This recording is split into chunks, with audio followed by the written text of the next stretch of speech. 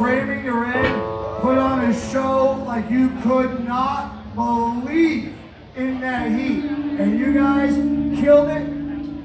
SBB is now your home. Framing the Red, you are welcome back here anytime. If you could do that in 100% humidity at 90 degrees, I can't imagine what you could do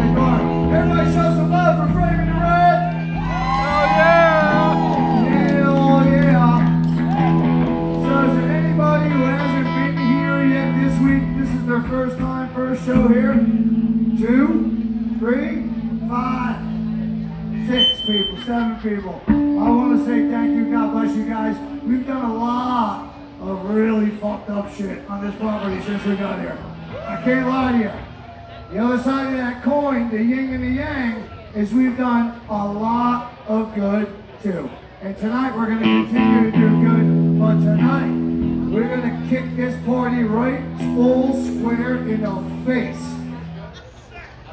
If you've never been here for a sunset show, you're in for an epic night. This guy, this band, you can't even call them hometown heroes because they've gotten so huge, booked all through Sturgis now, so if you're going to Sturgis, you'll be ready for this shit. Ladies and gentlemen, brothers sisters, friends and family, you dirty ass vodka sons of bitches, the one, the only, Lowlife, here